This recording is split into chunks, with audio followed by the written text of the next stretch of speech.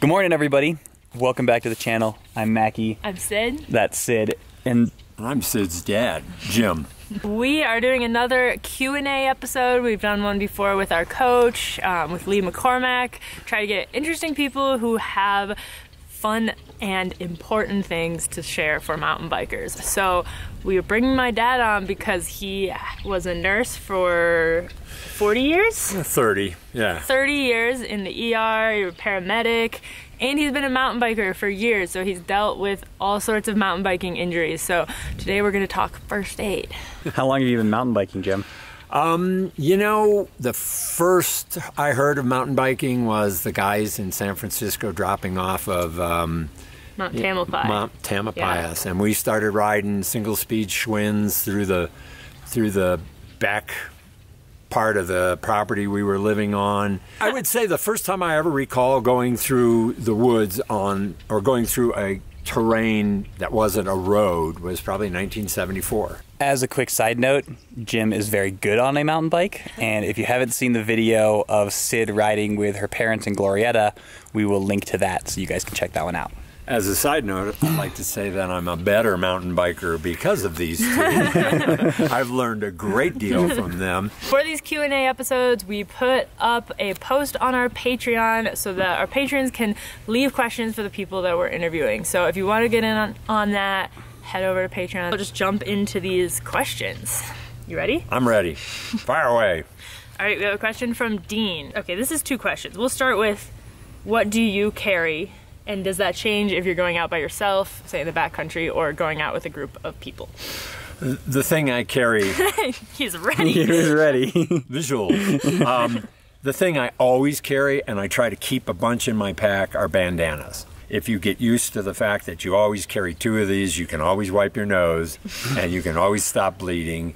You have the ability to tie things tight. You have all kinds of options. Let me just show you a quick thing with bandanas that make them even that much more useful. But we all know that the band, a good bandana is fairly good size and it, it's about that square. If you go corner to corner and you get your um, thing like that and you roll it from this position, you come up with a pretty strong tie down. So you can put that on over any kind of laceration, and if you got the ability to go twice, you can put a little torque on it and, and square knots. Learn to tie a square knot.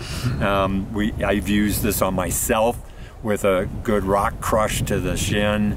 Um, it really works well if you you know and I, I would say that's probably one of the mountain bikers most common Yeah, injuries is getting getting shins because we protect our knees and our ankles. But if you can put that on and then pull your sock up you know you'll finish the race you'll finish the day you know and and a little pressure on an open wound helps it. The pain reduces the pain. So that's just a good thing. And if you do multiples of these you can actually tie them to a stick to help immobilization that covers up be- abrasions stops bleedings will will tie off an artery will uh, do a tourniquet all that kind of stuff And I know you've also, I know that you have used, say, a bike tube in the past. I do. to- what do you do? And that? everybody generally carries a bike tube, but bike tube is a phenomenal sling. Mm-hmm. It's also a good tie back. And one of the things you want to do to ease a little bit of pain, the most common injury with bicycles is sticking out your hand when you're going down. Mm-hmm. Collarbone. And the collarbone's the most fragile point, so it cracks. Well, when the collarbone's rubbing together while you're moving, that hurts. So if you can get the guy in this position so that both shoulders are back, and an inner tube can help a lot with that. And just go around like this, and you'll get the one part of the arm in there, and the other part, the arm in like this, and there's your sling. And this is great for shoulders, number two injury, clavicles, good there. Um, this may be more comfortable than a pullback on somebody if their clavicle is just uh, fractured and not separated. Um, you know, if you want to, you could even put air in this, and it shortens it up a little bit. You can That's put clever. you can put a bandana, or you can stuff a lot of stuff up behind the the neck to, for comfort, and it also rises. Make sure your valve isn't digging them in the neck, and you've got a perfect sling there for. And then the next step is, let's get this person up. You know, are you lightheaded at all? Are you having any problem? Does that make you crazy? I mean, lightheaded. Okay, Perfect. If they do get lightheaded, sit them right back down.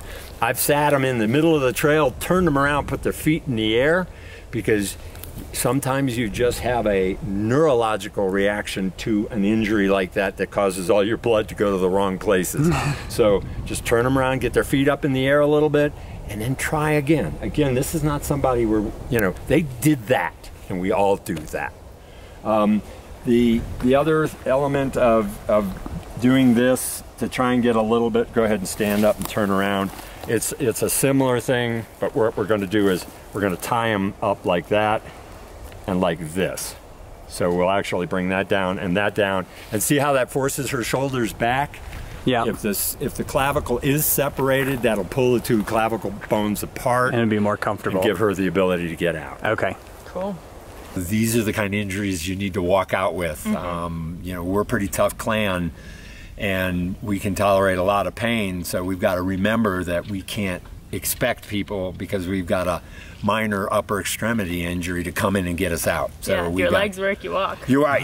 Yeah, I like that. And we'll get into stuff about like situations where maybe you shouldn't walk later. Yeah, for sure. Um, first, let's show what Macky and I carry. We have a first aid kit from Adventure Medical Kits. This, I would say, and we discussed this with my dad earlier, is is much more for like very minor injuries.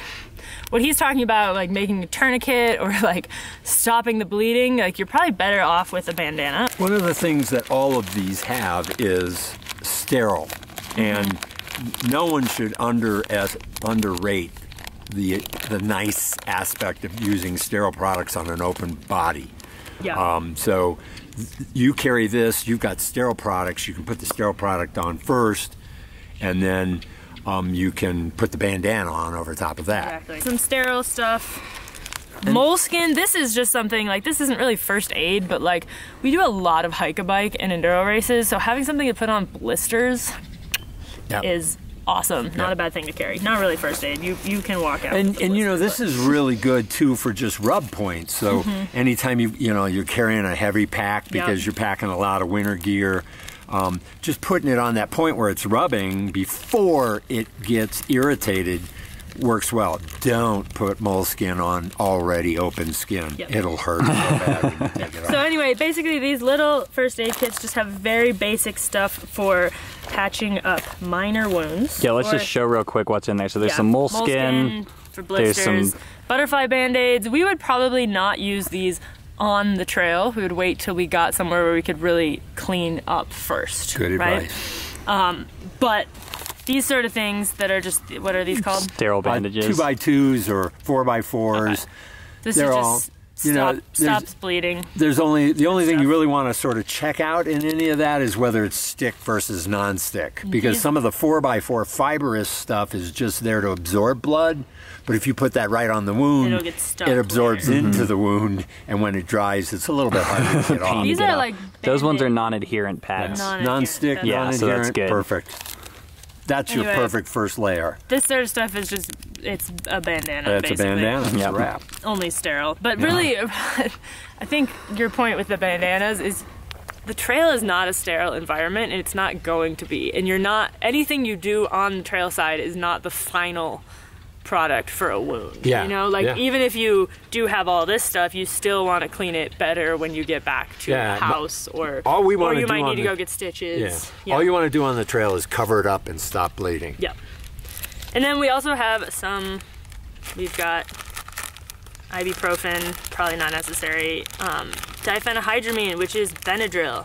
Benadryl has saved Macky's life, so Benadryl is a good thing to have around. Yeah. Um, Be careful who you reactions. give anybody a pill. Uh, Yeah. If you're giving out medication, you don't have the right to prescribe. Yeah, Um, so you. you. really Ask have to- them, yeah. Though I don't If know, if, someone, want- if I come across someone who's having an Let them anaphylactic take it. shock, I'll give Say, them Say, hey, if you want Benadryl, I've got Benadryl, and Yeah. that's not a bad thing to carry. That is one of the few things. I, And given that I am deathly allergic to wasps, um, I carry an EpiPen. So, you know, so we personally have an EpiPen and Benadryl with us all the time. And then this first aid kit has more Benadryl, some aspirin, some other pain meds, like little things like that. I think there's some sterile alcohol wipes in there, like In here, yeah. some things like that. Tweezers. So tweezers, yeah. Don't underrate a tweezer because if you've ever had a splinter in the wrong place, it works on just about everything but the eye. Do not, use tweezers Not on use anything tweezers on in your the eye. Okay. Okay. We also have a wet wipe. You want to show the wet wipe there, Syd? This is just, I don't know what this is for, but you know what? You never know Yeah. until you need it. Again, it's, We've used it's them. clean it up, cover it up, Yep. and get home. Exactly. If, you know, if It you, could also be toilet paper in a severe emergency. there you go. There you go. That's not a bad kit to carry on an everyday bike ride. Super light. So yeah, that's and, nice. and We it gives you a wet lot of um, help for other people. So So I think to get back to the original question, it was I think sort of directed at like how do you view riding by yourself versus riding with a bunch of people? Do you come more prepared for one of those things or I tend to be, I tend to carry more and prepare better for a group ride. Mm-hmm. And because you don't know what people on the group are gonna do. Yeah. Yeah. And, and I think all of us, ha, you know, on our group rides, we'll see somebody out there by themselves, and in and we all ride by ourselves because Mm-hmm. doggone it, we don't get enough riding as it is. And I think you really need to develop two different styles of riding. And, And you would say that's more important than like what you bring, carry. how you if ride. you're riding alone, there's a pretty good chance you can't help yourself.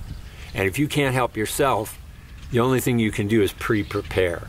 And there's two things you can pre-prepare by telling somebody where you are mm-hmm. um, and when you're going to be back. and when you're going to be and where back. you're going. Yeah. Yeah. Well, and, and even more importantly than when you're going to be back, because we all know that fifth flat tire we had really gets everybody freaked out.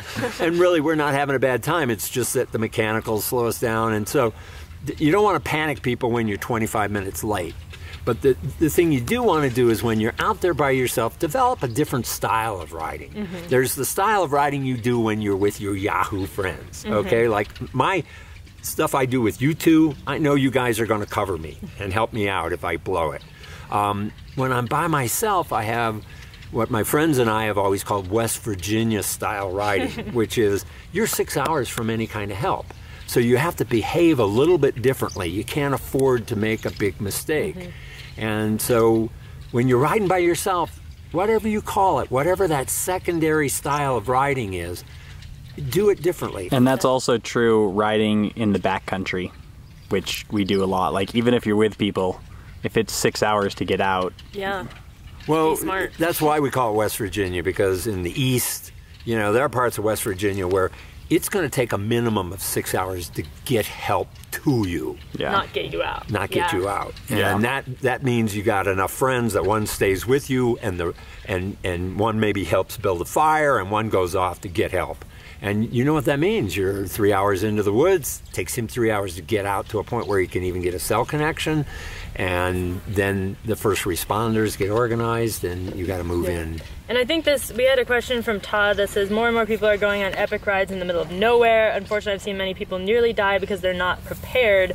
What gear, first aid gear, would you recommend? I think we've kind of answered that is that the first thing that we recommend is changing the way that you ride and being very smart and being conscious of the fact that you're in the middle of nowhere because I think something we don't often realize is like, oh, it took us two hours to get up this climb on a mountain bike as a fit person. That's not the same as someone coming up with a backboard, you know? Yeah. Like that's gonna take them Yeah. a lot longer. And that's assuming you have cell service to call, like you're so I think it, it just Yeah. being aware of the fact of how long it actually could take to, like you said, not just get someone not just get you out, but get someone to you. The the gear you recommend is basically something to stop massive amounts of bleeding in some way, which is the bicycle tube that we all carry, which Yeah. is to make a splint or brace or something that allows Yeah. you to walk out with an upper Yep. extremity. warm clothing.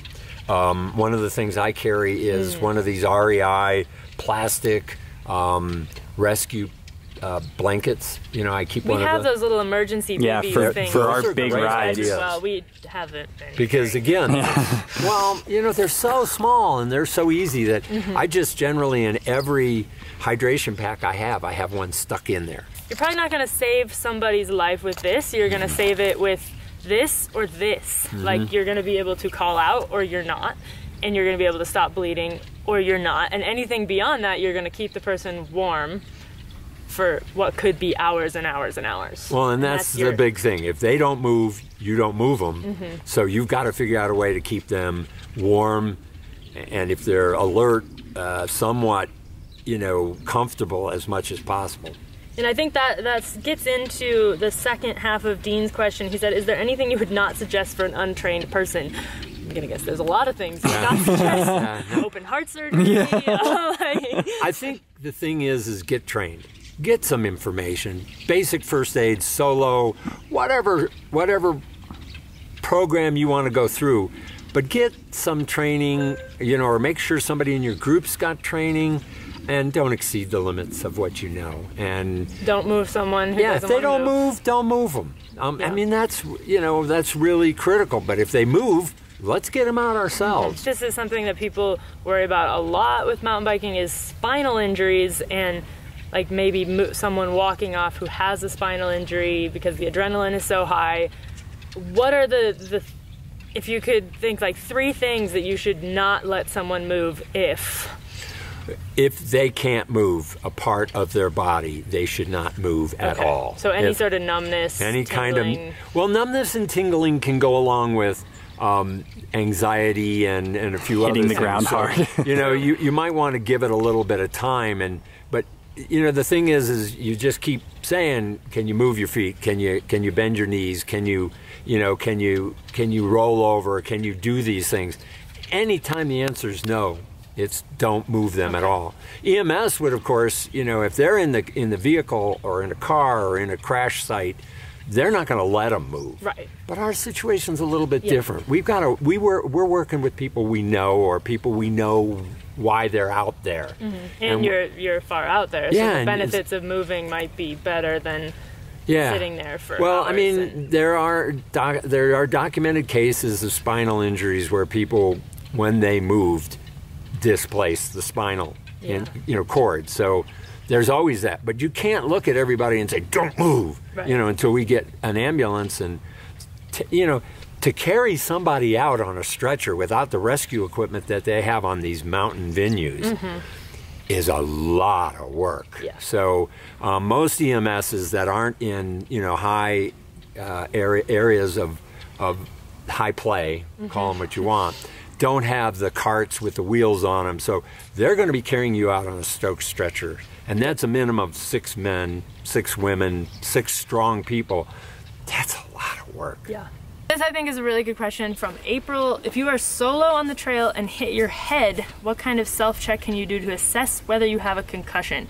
And I think this is actually relevant whether you're solo or not. But how do you know after you hit your head if you're good to go or not? You don't.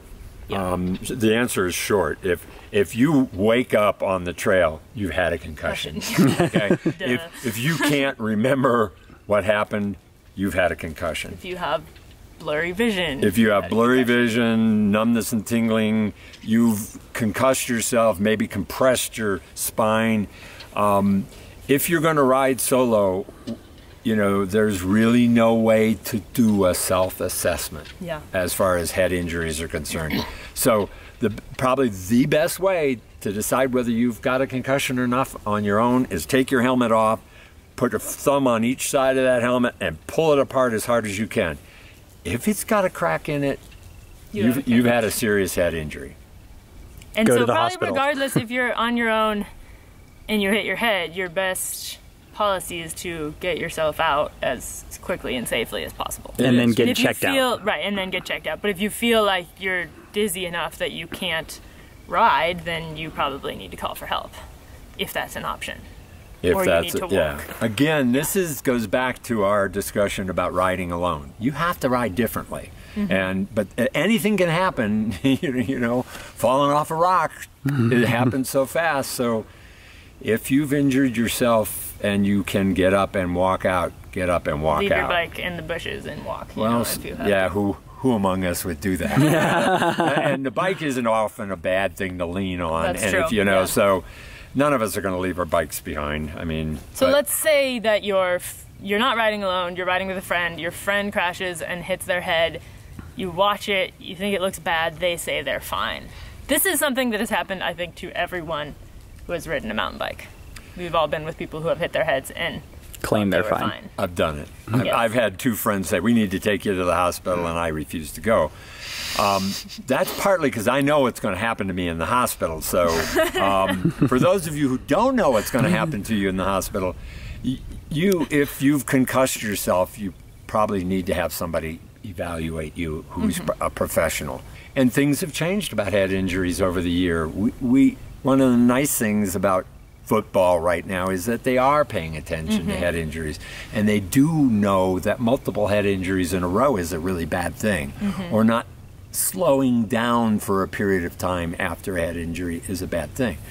The best thing you can do is get professional evaluation. Sorry it's going to cost you it's going to take some time but um, But you know it's more expensive? yeah. Yeah. Being a vegetable. Tony asks, is it worth taking an advanced first aid class? What type of class would you recommend? NOLS offers a specific wilderness specific class. Is that what I I did the Yeah, solo. yeah. Yeah, you did. Yeah, I did a WFR, which wilderness first responder, which is a 10 day course. And I would I loved doing that. It was super fun Yeah. and interesting. I I mean, I wouldn't say I think you need to recognize it doesn't really qualify you to do you don't know everything. The answer to the Yeah. question is yes. Yes. Let's say that eh, eh, all of us should have a little bit of first aid knowledge.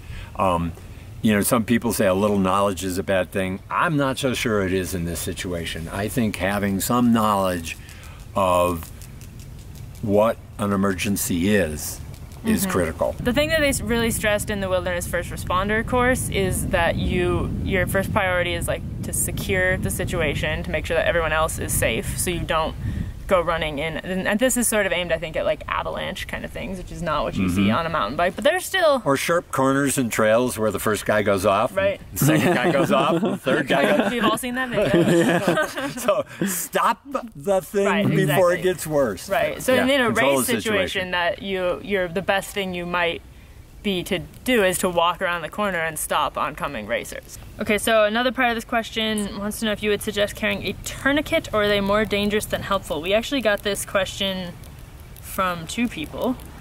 Um, and I think in a way your bandanas are serving as a tourniquet, but I know that's something that I think people have heard a lot that like if you cut off blood flow for too long, you the limb might have to be amputated or something. The science on, tourniquets are scary, Yeah, the basically. science on tourniquets has changed a lot with the Afghan war. Uh, I'll just be real honest with you. A, the IEDs and the limb losses and stuff, they have just become ruthless about tur- putting tourniquets on. If you have uncontrollable bleeding, you have got to put a tourniquet on. Okay. These are very serious injuries, and they're not likely on m- mountain bike injuries for unless you're dealing with a bear, a bear attack, or you know where you know you- we're dealing with deep uh, vascular, large artery uh, cuts. We have seen, there have been multiple YouTube videos of people on bikes cutting their Yeah, yeah, artery. okay, But that right. wouldn't be a tourniquet, right? That would just be direct pressure because where would you even put the tourniquet? Correct. there? Yeah. Yeah. The tourniquet tends to be, you know, um, you know, one. It's direct pressure, elevation. You know, try you everything try else everything first. else Okay. first. It's a tough decision to make because technically, when you put a tourniquet on, everything from that point on is gone. Wow. You know, you you you. So you kinda- shouldn't do it except I'm never I mean, going to say you should. well you, know, you your shouldn't decision except as a last resort Yeah. basically. You're just. That's exactly what Yeah, it is. okay. It's a last resort. The second part of the question was how about the clotting agents, which I know we have several of in our big medical kit. Is that something you carry in your pack? I do not. Um, and mostly those uh, are just to stop oozing, from from what I understand. Uh, I know there are huge pads that they put on that they think issue. one in, in Yeah, they issue yeah. that stop. You know, are really good at stopping bleeding, capillary bleeding for the most part. You're not going to stop arterial bleeding. Bleeding Okay. yeah, with a little bitty bit of powder or a little bandage. Um, but, but I do know they have huge packs that they put on that have, um, you know, a medicine in them that stops bleeding. So this is a question that I think is maybe a little out of your wheelhouse, but Steve asks, I've come across several rattlesnakes when out riding. I almost ran right over one in the middle of the trail a month ago. Do snake bite kits work? What kind of first aid would you use for a snake bite? You know, we have copperheads in the east, and I've been looking for a rattlesnake the whole time I've been out here. But I, you know, I've sort of view snakes as something that you you know where they live and you try to avoid contact with them. If you're hit by a copperhead in southern Ohio, there's a pretty good chance that the first hit is a dry bite. If you get hit twice, you're going to be in trouble. We have, you know, a friend of ours, that's his his thing, and maybe we should refer that question Yeah, to him we'll- if, if we can move we'll, that on we'll down. follow up on that in Yeah, the yeah. comments if we can. So our last question here from Reactive Mountain Biking, interested in a um, official basic kit that would work for group rides and to keep with him while using a big pack on long rides. I think this thing's awesome. It's super lightweight, easy. Um, Venture medical kits. This is the 0.5. I think they have a 0.7 if you want a little bit more stuff. Um, you can get them on Amazon for I think like $15. So, and then we have this guy, which we keep in the van um, because it's huge. And this is sort of, Cleanup. Yeah, exactly. Yeah. It's either like we can do sort of like a final thing, which we'll, we'll put in a little cleanup we did on Macky's, Macky's leg. He was kind enough to get injured for this video. I just can't believe how many people are willing to have tattoos. Well, I think scars are just tattoos with a good story. Yeah. So, you know, so I'm not one to run off to the ER to fix every laceration. Yeah. But if you get those lacerations closed as much as you can, and that's Which where the, the steri strips and good cleaning, clean yeah, good cleaning. infection makes scars worse. Yeah, and one of the Among yeah, other things. Among other things. um, I, you know, I go to the grocery store and buy a six pack of, of sponges, Uh-huh. and I just keep them in the in the van all the time. And you, if you've got sterile water, you've got really clean water. The sooner you scrub out a laceration, the less likely it is to get infected. And you know, a clean sponge that's never been used. Don't use your dish sponge or, or your bathroom cleaning sponge. You know, use a brand new clean sponge, and that's and then throw it away. Yeah, and then. So something like this to ride with, a Yep. bandana, And uh, bandanas, I love. Yeah. bleeding, some Yeah. a little bit more in your car. So this is one question. This is something you can't really be prepared for, as we learned with Macky's allergy. Um, someone having a really bad allergic reaction, probably to a bee on a bike ride. I suppose you could accidentally eat a peanut or something. But um, would you recommend if you're on like big backcountry group rides? I know like official groups usually have epinephrine. Is that something you would carry or recommend? If you know and you are comfortable using it, like Macky, Yeah. you know, he knows he's going to use it on himself. Yeah, I would uh, not hesitate to use it on somebody because Yeah. Epi is going to give you a, a a strange feeling for a while. But if you have a known allergy to, um, you know, bee stings, it's prob you know, it's probably better you get that Right. Or, you know, the question though is the unknown allergies because Yeah. when he had an allergic reaction, he had never had one before, and you were 25.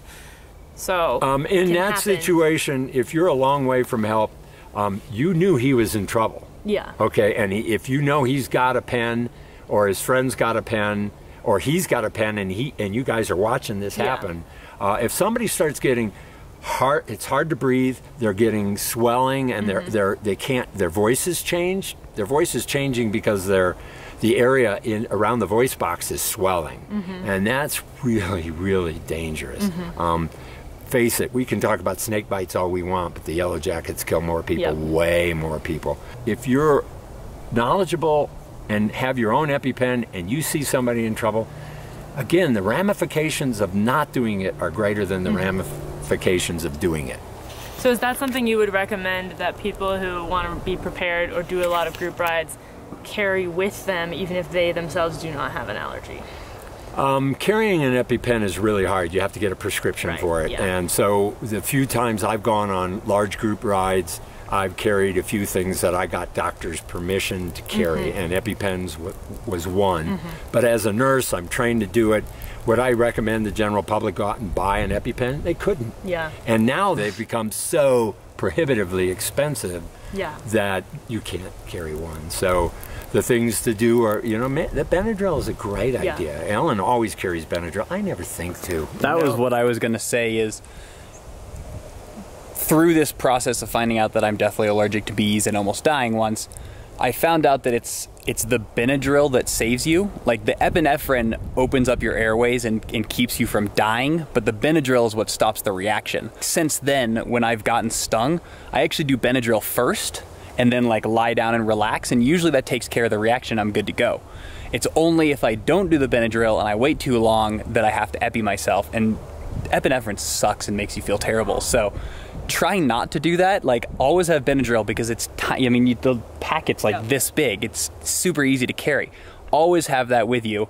If somebody gets stung by something, especially if they know they have a reaction, but either way, just give have them take two Benadryl. Like they're going to be a little bit Yeah. drowsy. It's not a big deal. as- if anyone has any reaction to a bee sting, like hives anywhere, give Benadryl. Benadryl. Yeah, and if you uh-huh. open up your pack and it expired three years ago, give it anyway.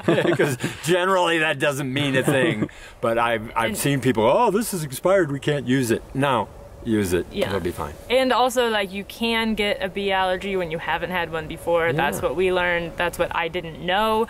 Macky was going into anaphylactic shock, and I was saying, but you're not allergic to bees. so the moral of the story there is if someone's having a reaction, they are allergic, even if they weren't before. So even if they're saying, I'm not allergic to bees, if they're getting Give them hives, Benadryl. especially if they're getting hives places where the sting wasn't, Mm-hmm. like any sort of systemic reaction, start with the Benadryl and then get the hell out of there. Again, this is all about situational awareness. Mm-hmm. The bee sting you knew happened.